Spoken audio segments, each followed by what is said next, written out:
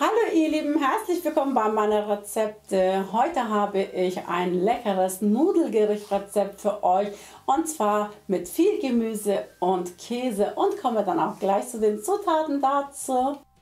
Ich habe ein bisschen Olivenöl in eine Pfanne hineingegeben. Dann brauchen wir so ungefähr drei Lauchzwiebeln. Diese habe ich in kleine Stücke geschnitten.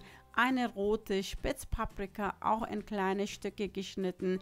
Eine Zehe Knoblauch. Das Ganze wird mit dem Olivenöl angebraten. Heute werde ich meine Nudeln mit viel Gemüse zubereiten.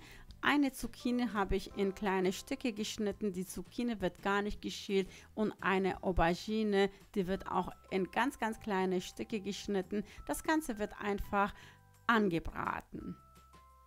Das sind so Rezepte, die ich dann auf die Schnelle mit den Zutaten, was ich zu Hause habe, vorbereite. Dann habe ich ein Esslöffel Frischkäse, ein Esslöffel Schmelzkäse hineingetan und ein Teelöffel Gemüsebrühe.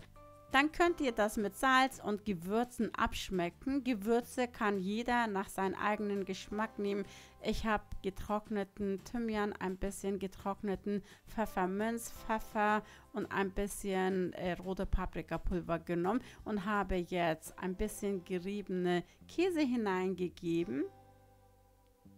Ich hatte auf der anderen Seite schon meine Nudeln gekocht. Jetzt kommen die Nudeln rein. Welche Sorte ihr nehmt, ist natürlich euch überlassen. Das Ganze wird einfach miteinander vermischt.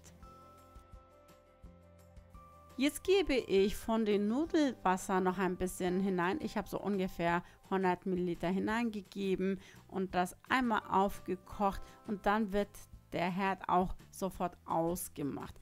Wenn ich frische Kräuter nehme, dann mache ich natürlich auch den Herd aus. Ich habe jetzt an dieser Stelle viel Rucola genommen. Ich liebe Rucola. Ihr könnt es auslassen, aber ich kann es euch nur empfehlen. Mit frischer Rucola schmeckt das richtig super lecker. Wie gesagt, der Herd ist aus. Ich habe das einfach einmal vermischt und fertig ist eigentlich mein Gericht.